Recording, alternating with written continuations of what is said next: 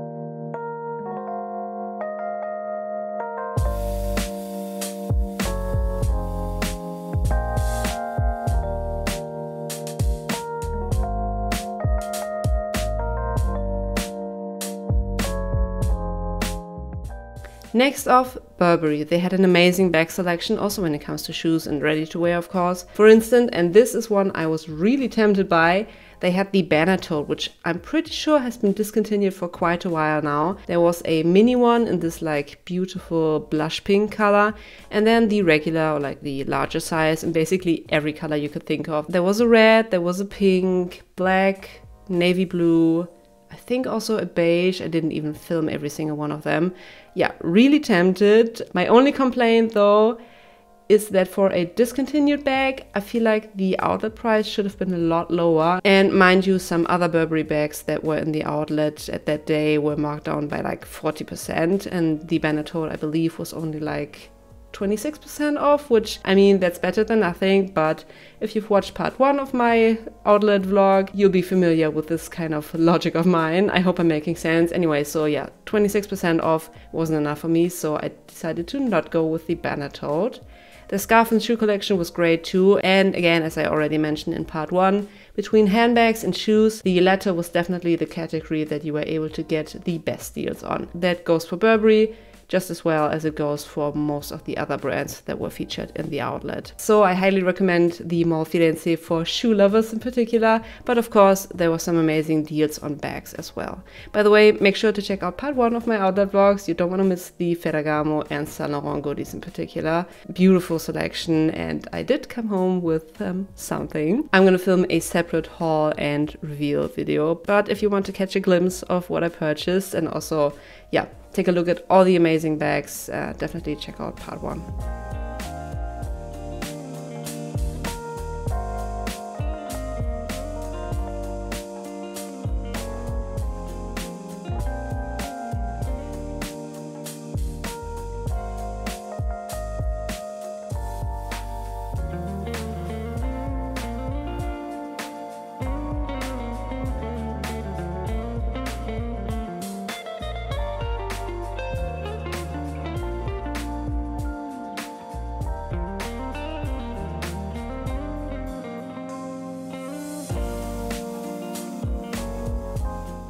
Next off, Gucci. Apparently, the Gucci outlet at the Mall Firenze is the largest Gucci outlet in Europe, so of course we had to go inside.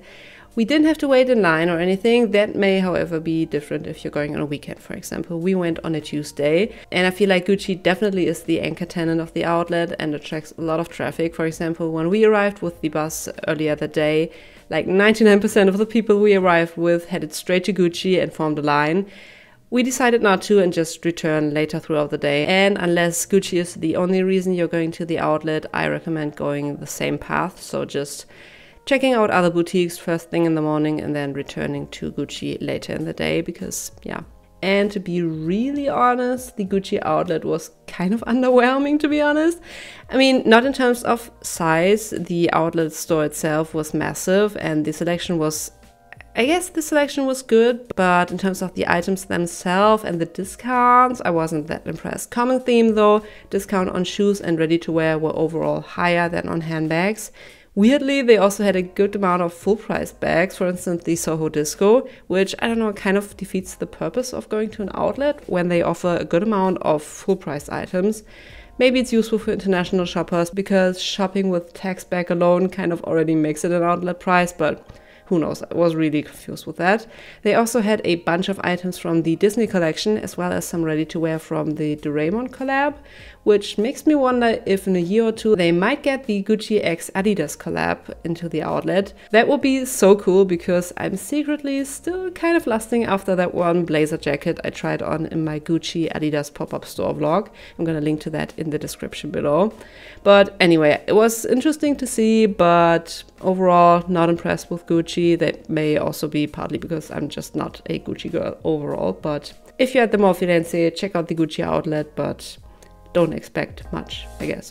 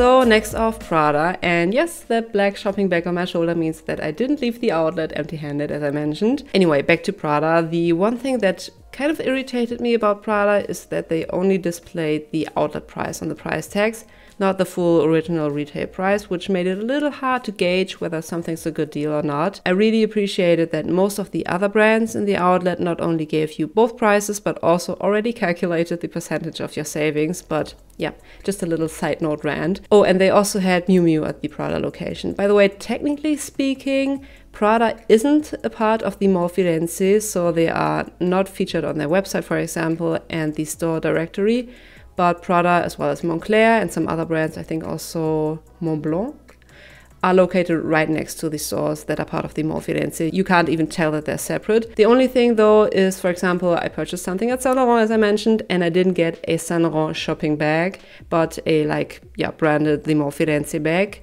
If I was to purchase something at Prada, I would have gotten a Prada shopping bag with Prada written on it, not the Mall Firenze. So that's kind of a way to tell. But other than that, the Prada outlet is yeah right next to other stores that are part of the Mall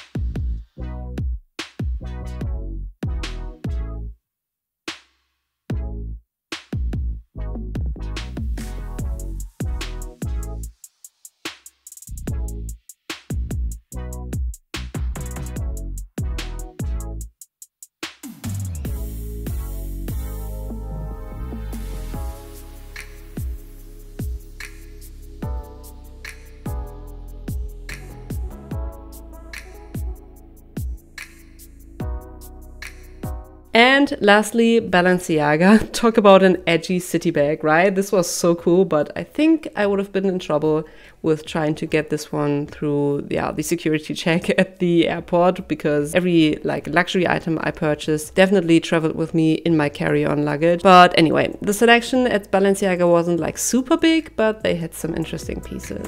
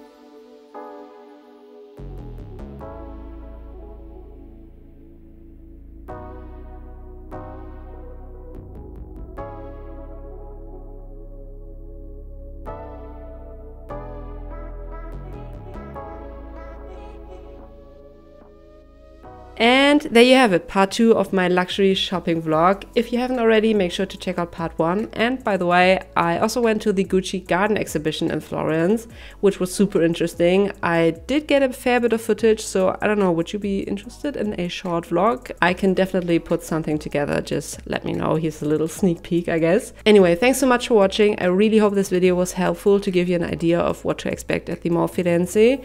I will include a full list of all brands that were part of the Mall Firenze in the description box below. There are a lot more than the ones I featured in my two vlogs. If you enjoyed today's video, give it a thumbs up, please consider subscribing, and I guess I'm gonna see you in my next video. Bye.